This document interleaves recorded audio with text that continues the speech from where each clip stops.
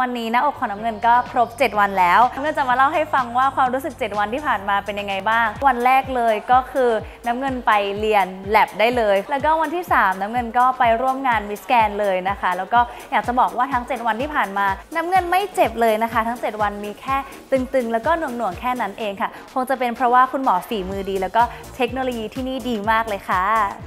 ถ้าใครนะคะที่อยากจะทำหน้าอกแล้วก็อยากจะเสริมความมั่นใจให้ตัวเองแบบน้ำเงินนะคะ น้ำเงินแนะนำให้เข้ามาปรึกษาคุณหมอสมบูรณ์ไหวพริบที่ Apex Medical Center ได้เลยนะคะ เพราะว่าตั้งแต่น้ำเงินทำหน้าอกมา แม้ว่าจะแค่เพียง 7 วันเองน้ำเงินรู้สึกมั่นใจมากขึ้นเลยค่ะ แล้วก็รู้สึกว่าทรวดทรงแล้วก็ curve ต่างๆ มันทำให้ body แบบ perfect มากขึ้นค่ะ สวย